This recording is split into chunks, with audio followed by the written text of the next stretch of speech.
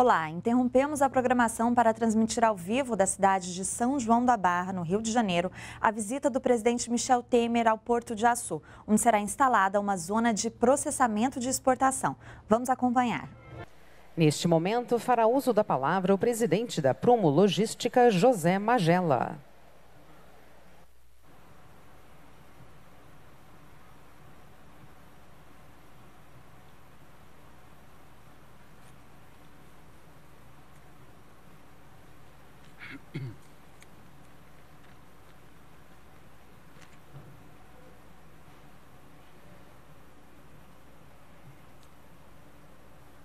Gostaria de agradecer a presença, excelentíssimo senhor presidente da República, Michel Temer, governador Luiz Fernando Pezão, governador do Rio de Janeiro, ministro do Estado da Indústria, Comércio, Exterior e Serviços, Marcos Pereira, ministro de Estado, chefe da Secretaria-Geral, Moreira Franco, é o deputado federal Altineu Cortes, deputado federal Júlio Lopes, deputado federal Paulo Feijó, deputada federal Soraya Santos, secretário de Estado, chefe da Casa Civil Cristino Áureo, prefeita de São João da Barra, que tanto nos tem apoiado, Carla Machado, prefeito de Campos, Rafael Diniz, e a nome de todos o que é, aqui vieram nessa, nessa comemoração tão significante para o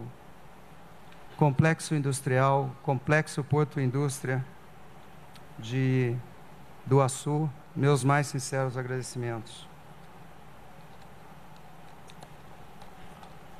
Meus amigos, estamos fechando o ano de 2017 com chave de ouro. Mais uma vez, comemoramos aqui no Porto do Açu, Brasil que dá certo. E dá certo porque trabalhamos juntos, e arduamente para que tenhamos um futuro melhor, um futuro que traz o desenvolvimento socioeconômico e ambiental sustentável. O complexo Porto Indústria do Açu é um quebra-cabeça, no qual as peças vão se encaixando e dando forma a qual será o maior polo logístico e industrial do Brasil e um dos maiores polos industriais do mundo com dimensão de 130 quilômetros quadrados, nós temos aqui no nosso complexo uma reserva ambiental de 40 quilômetros quadrados, a Floresta Carauara, que nós temos muito orgulho. É um terminal de minério de ferro que com capacidade de 26 milhões de toneladas ano em funcionamento. Um terminal de petróleo com capacidade de movimentar 1,2 milhões de barris dia e com uma profundidade do canal que já é de 25 metros. É único no Brasil esse terminal. Temos um terminal multicargas que começamos a operar no final do ano passado e hoje já está operando na sua capacidade plena. Temos a maior base de apoio logístico offshore do Brasil, com um dos nossos clientes, Edson Schwest. Temos a maior fábrica de tubos flexíveis para a produção de petróleo do Brasil, com um dos nossos clientes, a Tecnip. Em breve, nós fizemos alguns fatos relevantes nas últimas semanas. Muito em breve, nós teremos aqui no Porto do Açu, no nosso complexo, o maior parque termoelétrico do Brasil e da América Latina, com 3 gigawatts de potência e com investimentos superiores a 7 bilhões de dólares. Perdão, 7 bilhões de reais são mais de 2 bilhões de dólares. Nós teremos aqui a criação de muitos empregos em breve. Nós conseguimos atrair para esse investimento aqui no complexo Porto Indústria do Açu parceiros de grande envergadura, como é o Porto de Antuérpia, a BP, a Siemens, a Anglo América, a Oi Tank e a Gran IHC. Nós temos hoje aqui no nosso complexo nove terminais em operação, já estão operando. Nós temos 11 empresas instaladas e aproximadamente 4 mil trabalhadores perenes que estão aqui conosco ajudando a desenvolver esse complexo. Com os nossos parceiros e clientes, Nós já investimos, já está investido aqui nesse complexo mais de 13 bilhões de reais. Agora tem a pergunta de sempre. Todos me fazem essa pergunta e não poderia deixar de ser diferente. Que é que tamanho vai ter esse complexo, né? E quando ele vai atingir a sua plenitude? E a minha resposta tem sido muito simples, né? Basta a gente ver o porto de Antuérpia, lá na Bélgica, é o segundo maior porto da Europa, um dos maiores portos do mundo. E o Porto de Antuérpia é nosso parceiro aqui no Porto de Açu, é nosso sócio. Eles têm uma área equivalente ao nossa, nós temos 130 km quadrados, eles têm 120 km quadrados.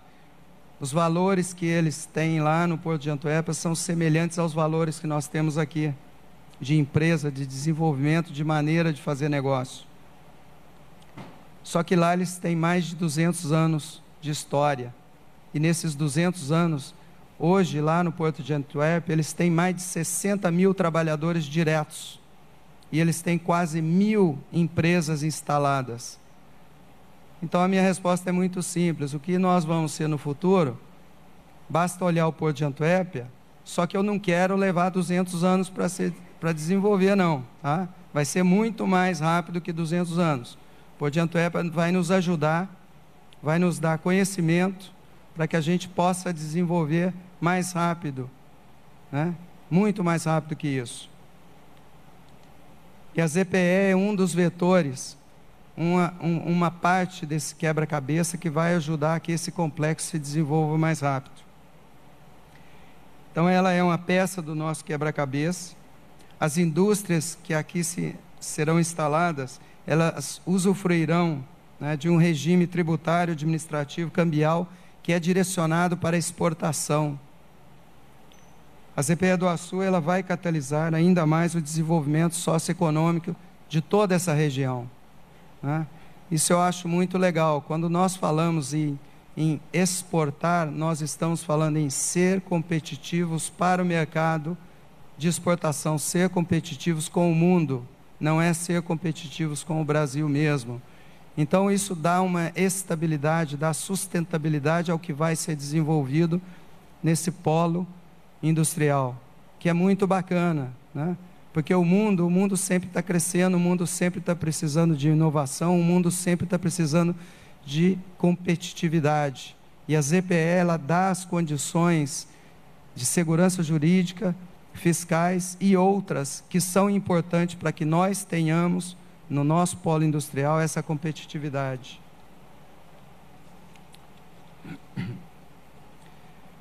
Presidente Michel Temer, no dia 8 de novembro passado, tem pouco mais de um mês, né?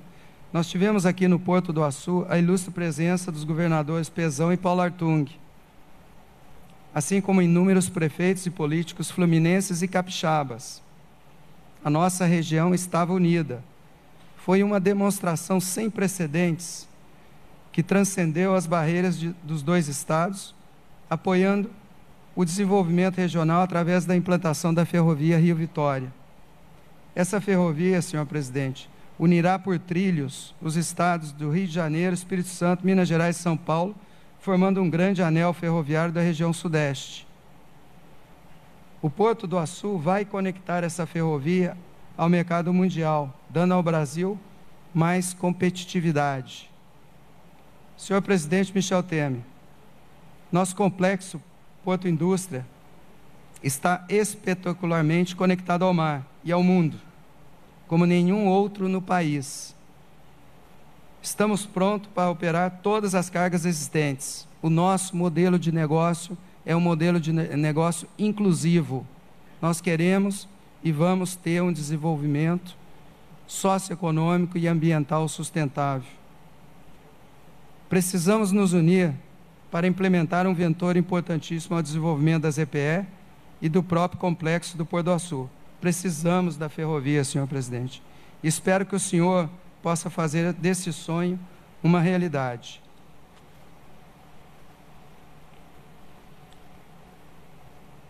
É realmente um desejo, não é o desejo somente do complexo do Porto do Açu, das pessoas que aqui trabalham, mas é o desejo de toda uma região Fluminense Capixaba. Essa ferrovia vai levar o desenvolvimento para toda essa região e conectar o Brasil ao mundo. Antes de finalizar, eu gostaria de agradecer a todos aqueles que nos têm ajudado. Nós não fazemos isso aqui sozinhos. Nós temos uma grande parceria público-privada. Nós temos atores, muitos atores que nos ajudam. E eu farei esse agradecimento através de uma pessoa muito especial, que é um símbolo, não somente para mim, mas para todos nós que estamos nesse complexo, da persistência e da visão de empreendedorismo regional. Sem ele, a ZPE do Açu seria somente mais um sonho. Há dois anos atrás, o senhor acreditou nesse sonho que agora é realidade. A nome de toda uma região, em especial da região norte fluminense, que esperava ansiosa por uma proposta moderna de desenvolvimento socioeconômico e ambiental sustentável meus mais sinceros agradecimentos, deputado Júlio Lopes.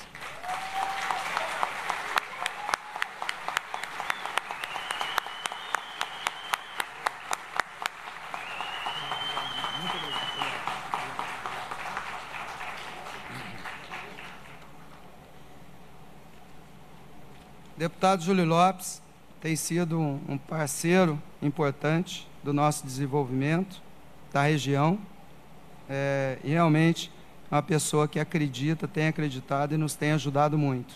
A nome dele, eu agradeço todos os demais colaboradores nossos, todo o esforço que foi feito e mais ainda, eu agradeço de antemão o esforço que será feito para transformar o Porto do Açu, o complexo polo industrial do Açu, numa realidade que vai transcender governos, que vai transcender gerações. Muito obrigado a todos.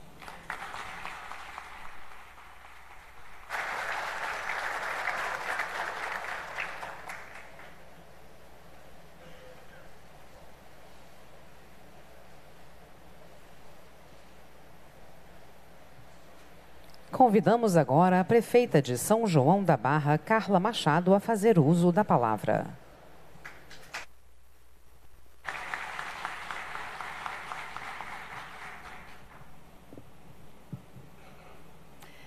Senhor, excelentíssimo senhor presidente Michel Temer, nosso querido governador Pezão, o presidente doutor Magela, né, essa pessoa parceira também do município de São João da Barra, o, os ministros Marcos Pereira, ministro Moreira Franco, governador eterno, né, também aqui do estado do Rio de Janeiro, os deputados estaduais, estaduais presentes, João Peixoto Pudim, os federais, é, Paulo, Altineu, Soraya, Júlio, Cristiano, nosso secretário de Estado de Desenvolvimento, Rafael, prefeito de Campos, está a Fátima também aqui, prefeita de, de, de seu Gilson de Cardoso Moreira, não sei se tem outros, mas é, sintam-se todos cumprimentados. Marcão, e a Luísa Siqueira, presidente da Câmara. Eu cumprimento a todos os vereadores aqui nesse plenário, Conceição, presidente da CODIM, e dizer que hoje é um dia muito feliz para a gente. Em 98, 1998, quando eu presidi a Câmara de São João da Barra, a gente tinha um sonho por ter um calado aqui natural de mais de 20 metros de profundidade a gente sonhava com um porto. Depois, enquanto prefeita, que eu fui prefeita de 2005 a 2012, eu tive a oportunidade de estar aqui lançando a pedra fundamental desse porto. Aqui era areia, né, um campo deserto, e hoje todos ficam encantados quando sobrevoam e veem a realidade que está aqui. Muitos desconhecem né, o que de fato nós temos de estrutura aqui no Porto. E eu quero agradecer imensamente ao presidente da República por estar assinando essa ZPE. E também agradecer ao ministro Marcos Pereira, que nós estivemos lá recentemente junto com o deputado Júlio, nos atendeu com todo carinho, prometeu que iria providenciar e hoje está aqui realizando mais esse sonho, que é um marco de desenvolvimento, não só para nossa região norte-noroeste fluminense, mas como para todo o estado do Rio de Janeiro e para o país. Em pouco mais de um ano, nós nos tornamos o quarto maior porto. Nós temos, teremos agora energia suficiente né, para prover todo esse distrito industrial, o gás natural. Então, a ZPE vai alavancar em muito a vinda de indústrias para cá e gerando mais emprego e mais renda para a nossa gente. Temos hoje, dentro de São João da Barra, é, é, o que eu falo, com toda a dificuldade que nós, prefeitos, estamos passando, presidente, e que o senhor sabe, nós temos é, uma dificuldade né, imensa em estar tocando as nossas contas esse ano. Mas eu falo que São João da Barra está na contramão da crise. Não há município do Rio de Janeiro que tenha esse empreendimento em seu solo como nós temos aqui. E o porto não é só de São João da Barra, o porto é de toda a região, do estado e do país. Eu gostaria de, de reiterar a necessidade da nossa ferrovia, conforme o presidente Magela falou. Sei que se começar hoje, muitos anos ainda teremos à frente para que ela de fato possa estar acontecendo. E eu sei da sua sensibilidade com essa questão do crescimento e desenvolvimento do país. Por, isso a gente aproveita, pede esse apoio. Como também o apoio à nossa BR-356, uma luta que a gente já vem travando na Comissão de Transporte né, do, governo, da, da, do governo federal, da Câmara dos Deputados. O Altineu também está nessa luta, eu acredito né, e que isso a gente possa ter bons frutos já esse ano. E já agradeço a toda essa bancada do Rio de Janeiro, que é incansável, independente de questões políticos partidários, eles estão sempre dispostos a estar fazendo com que o Rio possa estar melhorando cada vez mais. E agradecer o nosso governador Pezão, com tantas dificuldades, com tantos problemas, está sabendo dar a volta por cima. É, se Deus quiser, o estado do Rio vai entrar num trilho. A gente é brasileiro, a gente tem esperança, a gente tem garra, a gente tem vontade. E crise, muitas vezes, é para aqueles que não têm a vontade de crescer. A gente tem que encarar a crise como o governo federal está fazendo, o governo estadual, e ir para frente, que o nosso povo espera isso. É geração de emprego e renda para melhorar a qualidade de vida. Muito obrigada.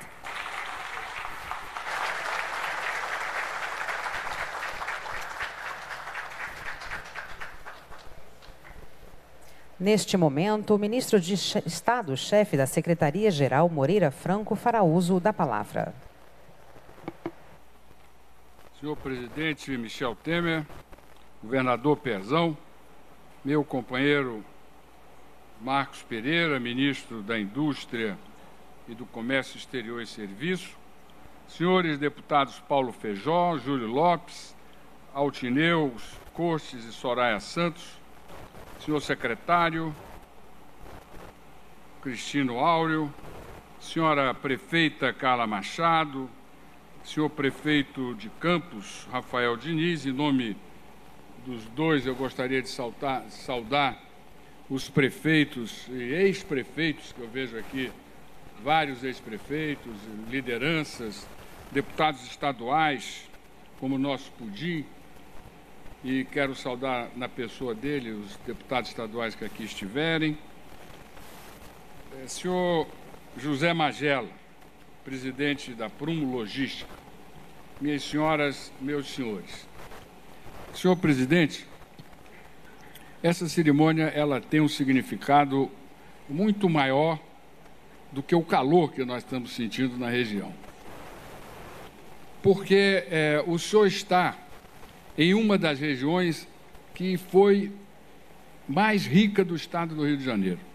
Se não, ser, não é exagero dizer, uma das regiões mais ricas do país, desde o Império.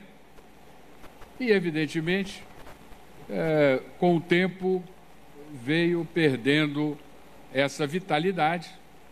E essa vitalidade ela foi perdida, certamente, muito por força é, da presença do poder público, desvirtuando uma das principais características da região norte e noroeste do estado do Rio de Janeiro. Essa região ela era rica porque aqui a iniciativa privada, o empreendedorismo, a força, o vigor, a garra, o sentimento comunitário, a capacidade de realizar do povo campista, do povo de toda a região, fez com que nós tivéssemos aqui um dos grandes centros produtores de açúcar e álcool do país. E hoje nós estamos aqui novamente reafirmando estes mesmos valores. Este porto é a expressão deste mesmo sentimento, dessa mesma postura, dessa mesma crença, dessa mesma confiança de que é o, o cidadão, o indivíduo que muda a história, que é sujeito da história, que faz a história. E eu fiquei extremamente feliz porque eu percebi que o Zé Magela já incorporou o sentimento e os valores da, da região de Campos. Porque Campos é uma, uma cidade que teve o primeiro jornal do Brasil e se orgulha disso, se jacta disso. Aqui teve a primeira distribuição de energia elétrica do Brasil e a primeira livraria. Então, veja o senhor que é, é, é, é este empreendimento encontra um ambiente cultural, um ambiente social, um ambiente, uma postura de uma, de uma comunidade muito apropriada, muito alinhada com o significado do que nós estamos vendo hoje aqui. Esse porto, eu não tenho a menor dúvida, como já foi dito pelo Magela, será um dos maiores portos do Brasil. E o senhor presidente pode é, colocar na sua biografia que é, ajudou muito para que isso ocorresse. Primeiro, acreditando nesse empreendimento, sempre tendo as portas abertas para ouvir e procurar resolver numa das maiores crises fiscais e econômicas é da história brasileira, mas jamais se deixou abater e, sobretudo, de procurar encontrar, junto com aqueles brasileiros que têm a capacidade de mudar, de lutar, as soluções para os nossos problemas. E, a, e o Porto de Açu é, uma, é um desses exemplos.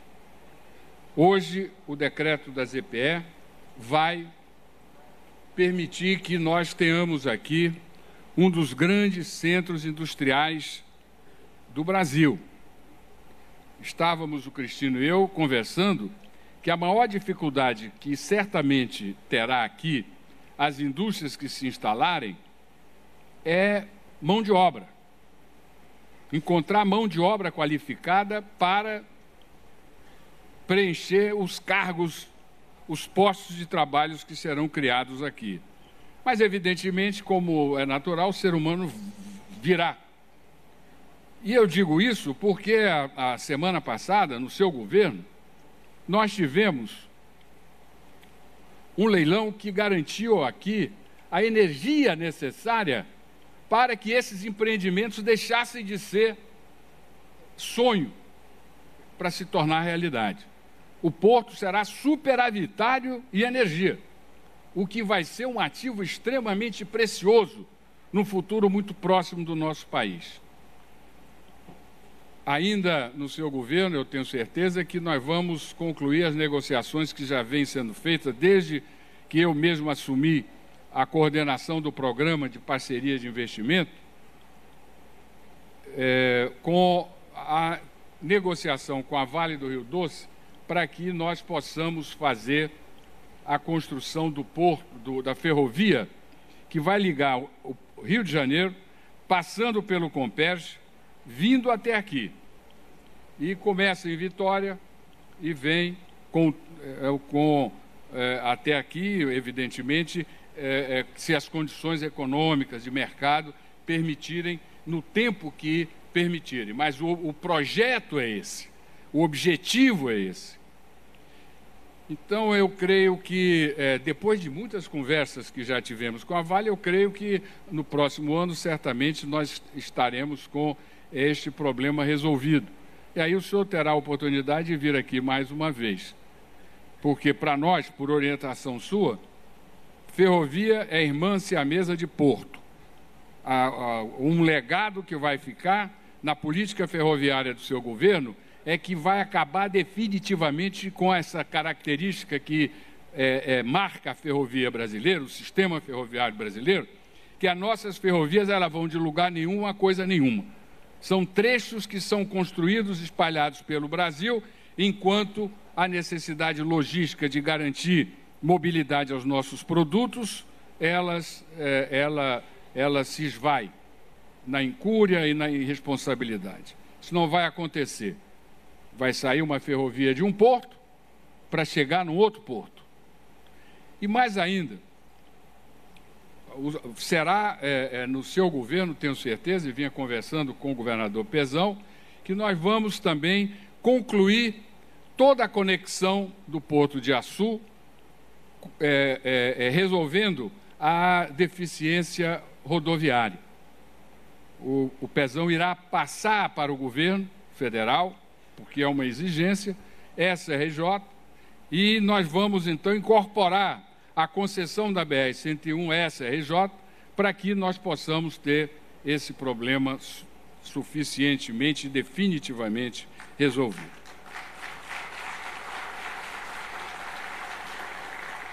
Então, eu creio, senhor presidente, que é, é, esses dados que aqui trago, as informações de natureza econômica que é, foram postas aqui pelo Magelo, as consequências sociais do porto para a região, que a prefeita Carla colocou com tanta, tanto detalhe, tanto brilho, é, ela, elas mostram que, é, de fato, o senhor vai poder incorporar, na mesma linha de, de importância e relevância, esse empreendimento, a reforma do, do ensino, a, a, a, o combate ao desperdício, a irresponsabilidade fiscal e certamente, é, é, é, e, o, e o Pezão certamente falará sobre isso com mais, com mais vigor, porque ele é uma vítima de, disso aí, a reforma da Previdência que vai garantir que situações como a que vivemos no nosso Estado não se repita em outros estados e no governo federal.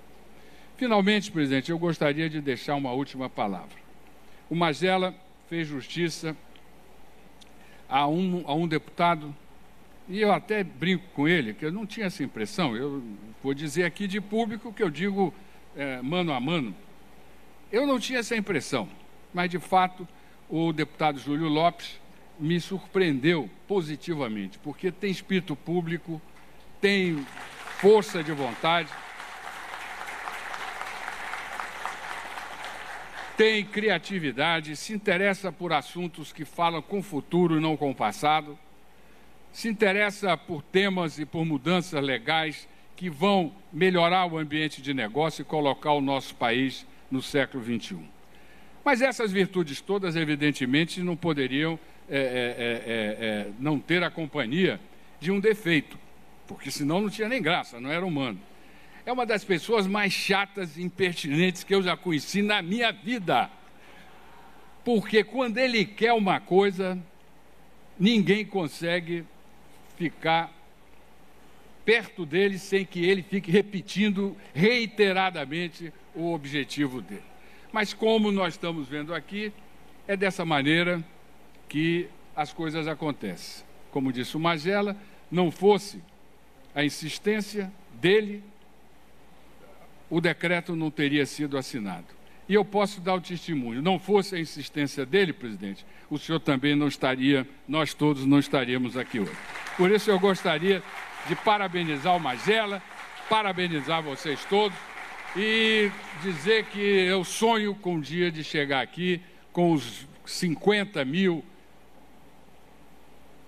40 mil, 60 mil fluminenses e brasileiros maneira direta e indireta, contribuindo com seu esforço, com seu trabalho, com sua capacidade de, de produzir para que nós possamos ter um país que nós sonhamos. Muito obrigado.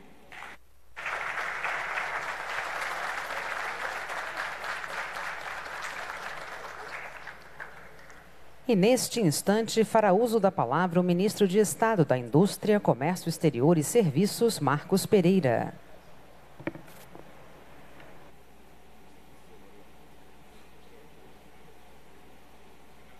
Bom dia a todos. Senhor presidente Michel Temer, eu vou pedir licença a Vossa Excelência para quebrar o protocolo, iniciando a minha saudação na pessoa do Júlio Lopes porque quero endossar aqui as palavras do meu colega Moreira Franco. Eu dizia ao ouvido do presidente ali, enquanto a prefeita discursava, que o Júlio Lopes me ligava dia sim, dia sim, sobre essa ZPE aqui do Porto de Açu. A Thaís Dutra, nossa secretária executiva do Conselho da Zona de Processamento e Exportação, também recebia diuturnamente ligações do Júlio Lopes. Eu me recordo, falava com o Magela, que estive aqui no Porto de Açu no dia 29 de setembro de 2016. Portanto, há pouco mais de um ano atrás, 29 de setembro, deputado Altineu, deputada Soraya, deputado Paulo, prefeita, todos os demais recebo os meus cumprimentos neste momento. 29 de setembro de 2016, Hoje, 27 de dezembro, portanto, nós estamos às beiras aí de um ano e três meses. E esta foi a ZPE mais rápida de toda a história. O processamento foi a mais rápida de toda a história. Quero fazer justiça ao conselho que é secretariado pela Thaís Dutra, que é presidido por mim, mas que compõe os ministérios da Fazenda, da Casa Civil, do planejamento, do meio ambiente e da integração nacional. Sem esses conselheiros, que também estiveram comigo aqui no dia 29 de setembro do ano passado, esse projeto não teria saído. Mas vou mais além. Sem os técnicos da Secretaria de Desenvolvimento do Estado do Rio de Janeiro, sem o apoio do governador Pezão, eu dizia isso para o Pezão agora há pouco, que os técnicos do governo do Estado do Rio de Janeiro foram primordiais, porque nós temos lá em Brasília, no Conselho, nós temos as linhas, as diretrizes e a função da Secretaria Executiva, aqui representada pela Thaís e pelo Amós e também por outros servidores, é orientar, corrigir, direcionar o projeto. A função do governo do Estado, que é o proponente dessa zona de processamento e exportação, é preparar o projeto. E todas as vezes que os técnicos do governo do estado, juntamente com os técnicos do MIDIC, se reuniam, era para avançar. De sorte que, em menos de um ano e três meses, que eu pessoalmente, aqui o Magela deve lembrar-se disso, o Júlio Lopes estava presente, deve se lembrar disso, eu prometi que nós iríamos processar e criar essa zona de processamento e exportação, porque verifiquei aqui em loco a importância desse porto e dessa área para o futuro do Brasil, para o futuro econômico do Brasil. Eu vou citar aqui, senhor presidente, alguns números, não vou falar aqui da ferrovia, porque o Moreira Franco já disse muito bem sobre isso, mas esse empreendimento vai gerar um investimento aproximado de 40 milhões de reais em infraestrutura local, na primeira etapa da implantação da ZPE. A área segregada, a área que, que, que tornar-se-á na zona de processamento e exportação, ela terá cerca de 2 quilômetros quadrados e ficará a 10 quilômetros do terminal multicargas do Porto de Açu. Um trajeto pronto para movimentar diferentes tipos e diferentes tamanhos de cargas. Por parte da empresa âncora, os números são expressivos também. Serão 42 milhões de reais em investimentos no projeto industrial Rochas do Açu, que tem como alvo o mercado norte-americano. Somente em compras, essa planta deve movimentar 31 milhões de reais, desenvolvendo a cadeia de fornecedores impactando a retomada da exploração mineral na região. Portanto, ao analisar o conjunto e a magnitude desse projeto, nós verificamos que não se trata de impulsionar apenas as exportações brasileiras, o que já seria extraordinário, mas também de estimular o maior desenvolvimento de importantes segmentos produtivos locais e melhor aproveitamento das vocações produtivas regionais. Não é à toa que nós temos lá no Ministério, lá no Conselho, na Secretaria Executiva do Conselho das Zonas de Processamento e Exportação, recebido diversas manifestações, diversas, de interesse de empresas estrangeiras nesse grande empreendimento que impulsiona a produção brasileira, agrega valor à base exportadora, promove a difusão tecnológica do Brasil e, principalmente, gera empregos em uma cadeia produtiva gigantesca. Nosso grande desafio é gerar empregos, eu tenho dito pelo Brasil afora, quem gera emprego é o setor produtivo, se o Estado, e o Estado na sua essência maior, a União, os estados e os municípios, aqui representado pelo presidente, pelo governador e pela prefeita, não atrapalharem, eles já ajudam, e isso nós, no seu governo, presidente Temer, nós temos feito, porque esse governo há de ser reconhecido como o governo do diálogo, mas o governo da desburocratização, o governo da facilitação do ambiente de negócios, e isso eu tenho visto diuturnamente lá à frente do Ministério da Indústria, Comércio Exterior e Serviços. Nós temos absoluta certeza que esse gesto do senhor de vir aqui ao Porto de Açu assinar o decreto de criação da ZPE Açu é um gesto que ficará contido na história do Brasil e que vai seguramente alavancar, gerar empregos e, e, gerar rendas e alavancar o setor produtivo aqui nessa região. Por isso, eu quero dizer que me orgulha muito estar aqui um ano e três meses depois para, junto com Vossa Excelência, tornar um sonho uma realidade. E essa realidade, sem dúvida alguma, justiça seja feita, sem a pertinência, sem a insistência e sem o trabalho sério e muitas das vezes até inconveniência do deputado Júlio Lopes não seria possível. Muito obrigado.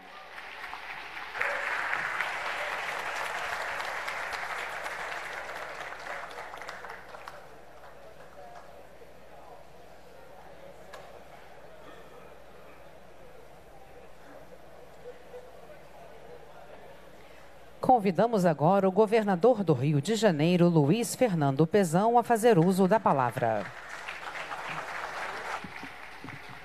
Boa tarde, bom dia ainda.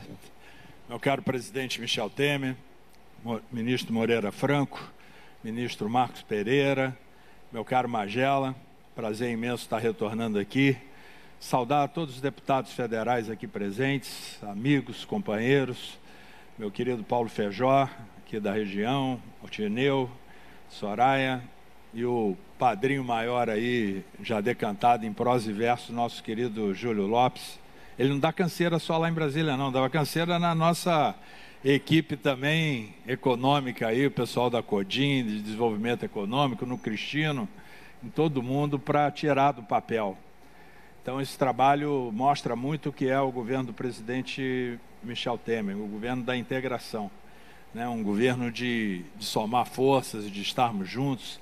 Saudar aqui o Rafael, nosso prefeito, a Carla Machado, prefeita aqui são João da Barra, Fátima, prefeito de Quissamã, os deputados estaduais, o Pudim, João Peixoto, estou vendo o Gilson ali, prefeito de Cardoso, todos os deputados, todos que somam aqui, os empregados dessa obra, os trabalhadores, é, aos técnicos do Ministério da Fazenda, do Ministério do, da Indústria e Comércio.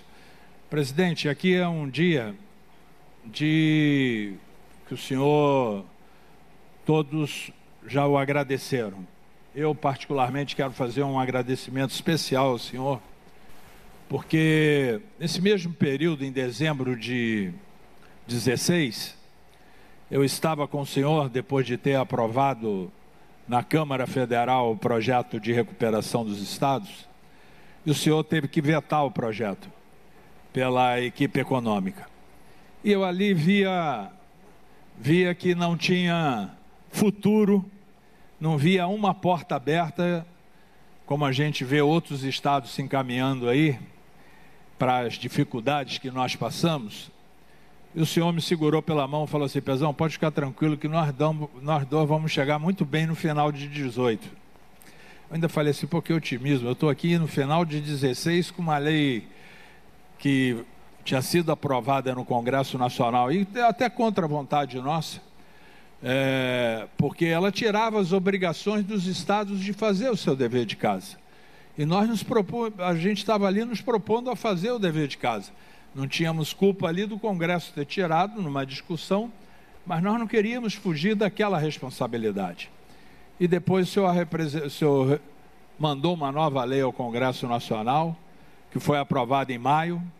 Passamos lá, e eu quero aqui agradecer muito na pessoa desses deputados federais, tanto do Júlio, do Paulinho, da Soraya do Júlio e do Altineu, porque não foi fácil a gente conseguir 312 votos do Congresso, o senhor sabe, na hora que terminou a votação, a primeira ligação que eu recebi, o senhor falou assim, Pezão, acho que eu vou te deixar aí dentro do Congresso articulando a votação da Previdência, porque 312 votos. Com dos 46 federais, presidente, do Rio, 26 votaram contra. Então eu tive que buscar 292 fora em outras bancadas e contei com a ajuda da, desses 20 e mais 292 e depois também com 56 votos dentro do Senado Federal. E isso tudo deve-se muito ao seu entendimento. O senhor não me ajudou só mandando a lei, ajudou também pedindo. Ninguém conhece aquela casa como o senhor, que teve, que presidiu a casa, e a gente sabe o que representa o diálogo. A gente pode ter as divergências, mas o diálogo é fundamental para o país, um país crescer, para fazer sair um país de uma crise como a que nós tivemos. Não é fácil, não está previsto. Eu me lembro muito uma noite, eu, o senhor e o Henrique Meirelles, ministro, o Henrique mostrando para nós dois uma série histórica do PIB, desde 1901, no, no tablet dele. Nós nunca tivemos isso no país, quase menos oito de decréscimo do PIB não está previsto na lei de responsabilidade fiscal, não está previsto em lugar nenhum. E o senhor nos proporcionou a sair dessa crise. Hoje eu tenho certeza de chegar aqui ao fim de 2017 com tudo que o senhor, Moreira Franco, Rodrigo Maia, na Câmara, os colegas parlamentares, no Senado, a equipe econômica do senhor, eu tenho certeza que a gente vai ter vai chegar ao fim do 18 de cabeça erguida, de estar tá lançando, de estar tá inaugurando obras, de tendo parcerias como essa que a gente está tendo aqui. E eu quero muito parabenizá-lo, presidente. Eu quero muito parabenizá-lo porque não é fácil enfrentar. Eu sei o que eu enfrentei, ainda saindo de uma doença, onde eu tive a solidariedade de todo o povo, de todo mundo, né, dos médicos, de todos mas tive uma solidariedade do Senhor muito especial. Eu quero aqui agradecer muito ao Senhor, porque eu vi também a sua dificuldade e o Senhor, com altivez, no diálogo, na conversa, aprovou medidas que o Brasil ansiava por muito tempo. Não é fácil tirar uma inflação de 11, 12 para menos de 3% abaixo da média. Não é fácil pegar menos 8 e botar quase 1%, que é o que o Brasil está previsto chegar aí ao fim de 18, podendo crescer 3, 4%. Não é fácil botar um juro que estava 14, 16, 12, 13 e chegar com ele a 7%. Isso dá previsibilidade, dá tranquilidade ao Magela de chegar aqui e trazer o investidor, sabendo que o compromisso vai ser honrado e vai ter segurança jurídica para os investidores virem para cá de bancar o modelo do petróleo, que tinha nos prejudicado. Que tinha nos prejudicado. Os leilões tinham sido paralisados. Os leilões retomaram e mais de 80% são aqui no nosso estado, que vão gerar riqueza, que vão gerar empregos. Né? Eu quero muito aproveitar que a gente está entre as festas aí de Natal e Ano Novo agradecer muito ao Senhor. O senhor foi sempre de uma gentileza com o Estado do Rio de Janeiro e pessoalmente comigo uma gentileza ímpar. O Júlio Lopes deu canseira. Eu não chegou a um quinto do que eu dei no senhor e no ministro Moreira, no Rodrigo, em todos, para ver um caminho para o estado do Rio de Janeiro. Eu tenho certeza que nós conseguimos esse caminho. E eu quero deixar aqui como último um agradecimento na pessoa do Cristino, que é deputado, mas do Geraldo Pudim e do João Peixoto, um agradecimento ao, à bancada, a, a, aos deputados estaduais do Rio de Janeiro, que aprovaram essas leis. Que aprovaram. Nós chegamos, presidente, nós fomos além do que a equipe econômica exigiu. Aqui nós aprovamos o 11 para 14, que ainda está no Congresso Nacional sendo discutido na contribuição previdenciária o 20 para 28 dos poderes na contribuição patronal. Então a Assembleia Legislativa aqui foi além do que foi pedido pela equipe econômica. E sem essa parceria, sem dar as mãos, sem nós estarmos juntos, ninguém sai de lugar nenhum. E o senhor tem essa virtude. O senhor é uma pessoa especial para esse momento que o Brasil enfrentou. Eu tenho certeza que o Brasil em 18 ainda vai crescer muito nós vamos botar essa taxa de desemprego a um dígito. Tem certeza disso? O senhor aprovou uma lei trabalhista que as pessoas criticam, mas que também desburocratiza, ajuda hoje a, a empregabilidade. Eu tenho certeza que a gente vai colher esses frutos.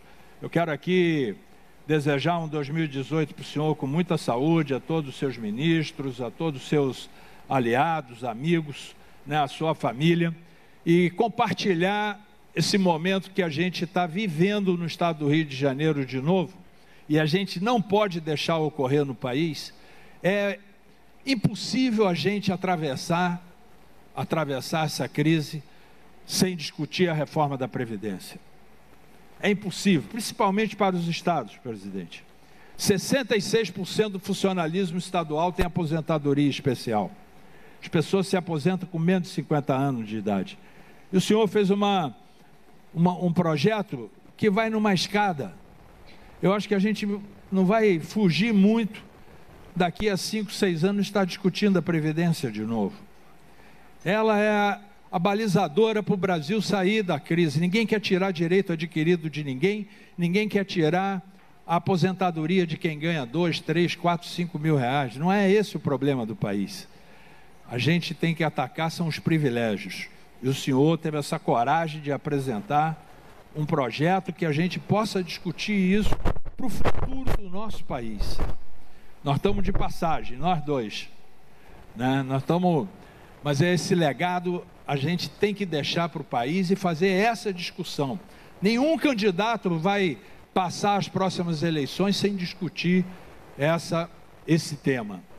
Esse é o grande problema do país. Eu quero aqui deixar um grande agradecimento ao senhor, agradecer a todo o seu ministério aqui, na pessoa do Moreira, que tem sido um interlocutor extraordinário. Espero não dar nele a canseira que o Júlio deu, mas ligo quase sempre dia sim, dia não também.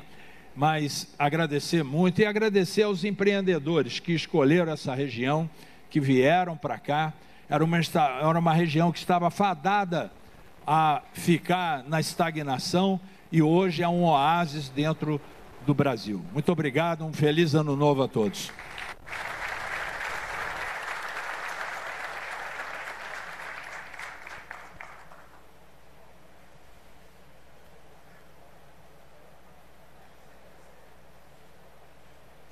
E neste instante, o presidente da República assina o decreto que cria a zona de processamento de exportação do Porto do Açu.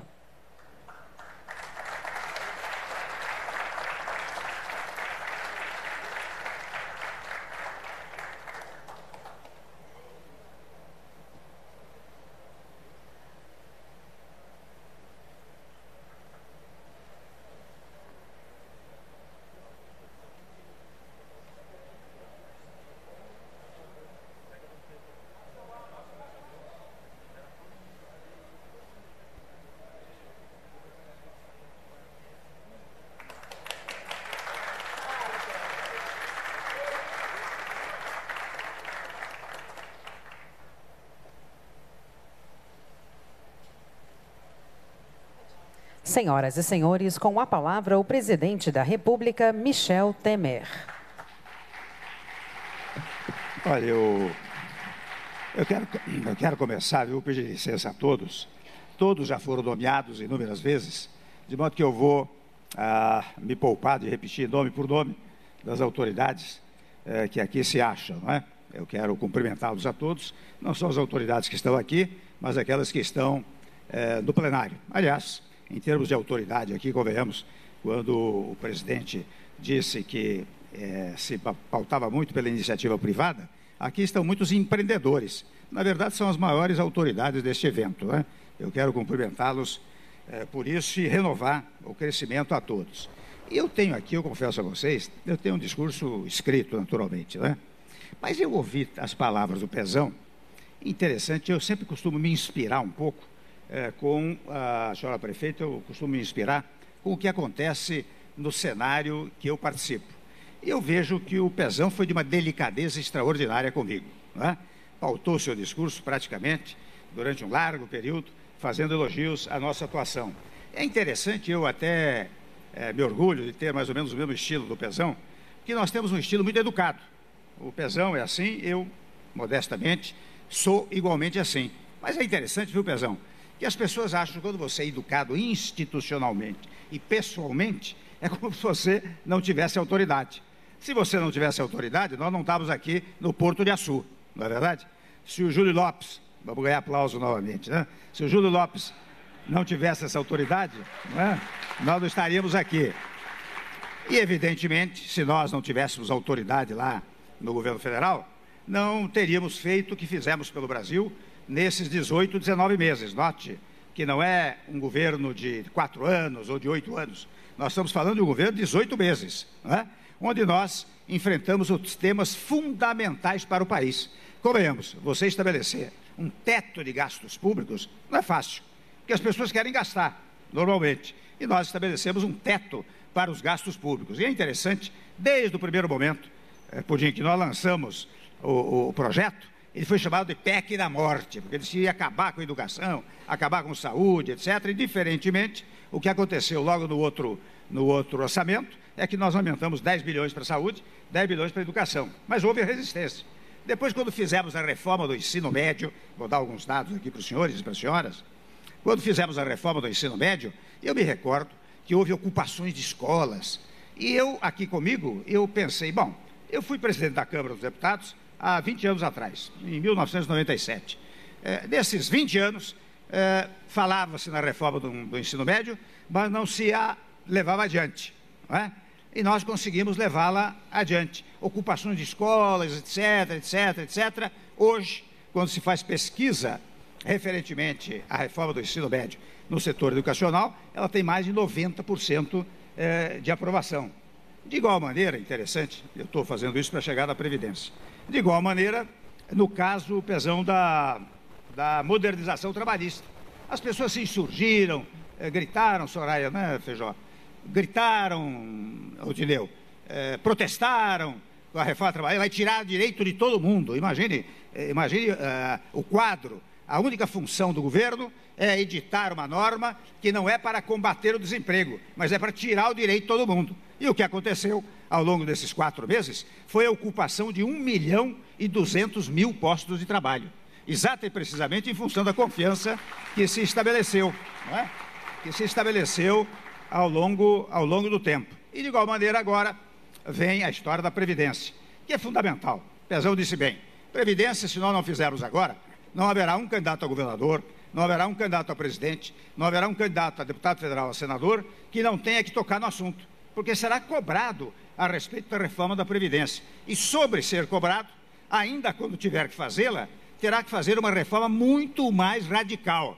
Radical do tipo daquela que ocorreram em estados europeus, em que houve corte de pensão de 20%, 30%, houve corte de vencimento de servidores públicos. Portanto, quando nós fazemos agora uma transição na Previdência, uma reforma da Previdência, nós estamos adiando esta, digamos assim, radicalidade com que se há de fazer a reforma da Previdência mais adiante. Ela levará mais tempo, porque, evidentemente, senhor é, de tempos em tempos, prefeito, você tem que fazer uma revisão da Previdência eh, no país. Em razão da faixa etária, que aumenta sensivelmente, o poder público não tem como eh, suportar isso. Então, eu, eu vejo o Pezão eh, falando da reforma da Previdência, eu fico extremamente orgulhoso, porque nós estamos com as mesmas dificuldades. O que aconteceu no teto dos gastos, o que aconteceu na reforma do ensino médio, o que aconteceu na reforma trabalhista, está acontecendo agora. Ou aconteceu com mais vigor. Agora, quando as coisas vão sendo esclarecidas, né, a resistência já não é, é tão grande. E isto faz com que, seguramente, mais adiante, no mês de fevereiro, se Deus quiser, nós vamos aprovar a reforma da Previdência, que de resto, viu, Pezão, não prejudica ninguém. Você sabe que ela é protetora dos pobres, dos mais pobres, em primeiro lugar, e mesmo convenhamos a história dos privilégios. E o que é privilégio aí? Privilégio é quem ganha mais de R$ 5.330, que é o teto do INSS. Quem ganha mais do que isso vai ter que fazer uma coisa. Vai ter que fazer uma previdência complementar. Muito bem, eu ganho 30 mil reais, 32 mil reais, eu tenho que fazer uma previdência complementar. Vou contribuir com 300, 400, 500, 800 reais por mês e mais adiante vou me aposentar com os 32 mil uh, reais. Portanto, em tese, ninguém sofrerá prejuízo, a não ser que tenha como prejuízo a ideia de que você não quer nem desembolsar 700, 800 reais por mês, ou quanto seja, para fazer uma previdência complementar. Mas é isto que salva o país. E, e, neste particular, eu quero dizer que logo depois também, eu digo aos amigos aqui, que são empresários, logo depois da Previdência, nós vamos fazer uma simplificação tributária no país. Porque eu converso com empresários, empresários me dizem, viu, Marcos? Dizem assim: ah, eu tenho que manter 30 pessoas lá para cumprir a burocracia tributária no Estado, União, eh, municípios. Nós vamos desburocratizar, fazendo uma simplificação tributária. E com isso nós fechamos o ciclo reformista no país. Mas hoje, especialmente hoje, Pezão, o que nós estamos. Aliás, uma outra coisa curiosa. Há poucos dias um sujeito escreveu me criticando. Sabe por quê? Quer dizer que eu falo bem o português, que eu uso palavras difíceis. É interessante isso, né? Interessante, é uma coisa curiosa. Se eu falo bem o português, imagine barbaridade, etc. Ele usa outro sim, vamos ver, vamos adiante, não é? Umas coisas dessa natureza. Eu prestei muita atenção na sua fala, que usa muito adequadamente o português, não só hoje, como em todos os acontecimentos, não é? Mas eu, mas eu vejo que o que estamos verificando nessa ocasião, precisamente nessa ocasião, é uma conjugação de esforços, né, Pezão, né, Moreira? Entre a União e o Estado do Rio pelo desenvolvimento. Eu sobrevoei agora, evidentemente, eu vi que é uma, é uma região que, com esta zona especial, vai ganhar grande desenvolvimento, grande progresso. Né? E isso é que nós temos feito pelo Rio de Janeiro e, naturalmente, por todos os demais estados eh, da Federação Brasileira. Porque no Congresso Nacional há essa sintonia entre União, estados e municípios, que tem resultado na, na, na, na aprovação de matérias da maior eh, relevância. Não é? Eu só lembro aqui, meu Pezão, você acompanhou muito isso, a repactuação da dívida dos estados. Você se lembra como, ah, durante anos e anos, se falava na repactuação da dívida dos estados e nada de fazer a repactuação. Nós fizemos assim que nós assumimos. No caso dos municípios, nós fizemos também, não só parcelamos o débito previdenciário, como no ano passado, quando os municípios estavam à míngua, nós eh, dividimos o produto da multa da repatriação, por uma medida provisória, que permitiu que os municípios fechassem o seu balanço. Mas o que eu, com isso eu quero significar que nós não pensamos só na União, que na nossa cabeça a União será forte se os estados forem fortes e se os municípios forem fortes. Não adianta você ter uma União forte com o município fraco e o Estado fraco. E nós estamos enfrentando dificuldades extraordinárias nesse panorama federativo. Mas estamos dando apoio a todos os estados, a todos os municípios, de modo a que, no final de 2018, se Deus quiser, nós teremos uma verdadeira federação eh, no nosso país. Mas eu quero, concluindo, eh, cumprimentar a todos. Eu vejo que aqui o Júlio Lopes foi aplaudido, mas todos, né? Todos participaram, todos, todos tiveram a sua participação eh, nesta, neste evento que nós estamos aqui eh, celebrando, né? Então eu, eu até é, digo interessante, este foi o maior presente de passagem de ano que eu recebi, foi vir aqui. Este é um presente, né? Que eu pude, eu pude é, verificar as potencialidades uh, deste empreendimento. Um empreendimento que conecta o capital nacional com o capital estrangeiro, é? e com muito, com muito sucesso. Portanto, eu reitero a todos, não posso deixar de desejar um ano é, muito próspero em 2018, né? E certamente esta prosperidade, um dos fundamentos desta prosperidade, estará na atuação do Porto de Açu. Muito obrigado a vocês. Está encerrada a cerimônia. Uma boa tarde a todos. Nós acompanhamos ao vivo, direto da cidade de São João da Barra, no Rio de Janeiro, a participação do presidente Michel Temer na cerimônia de criação da zona de processamento de exportação do Porto do Açu. O presidente Michel Temer fez um balanço deste ano de governo, falou sobre o teto dos gastos públicos, a reforma do ensino médio, a modernização das leis tra trabalhistas e voltou a destacar a importância da reforma da Previdência. Temer disse também que deve promover uma simplificação tributária para fechar o ciclo reformista do governo no país. E nós ficamos por aqui. Mais sobre esse assunto você confere durante a nossa programação. Continue na NBR, a TV do Governo Federal.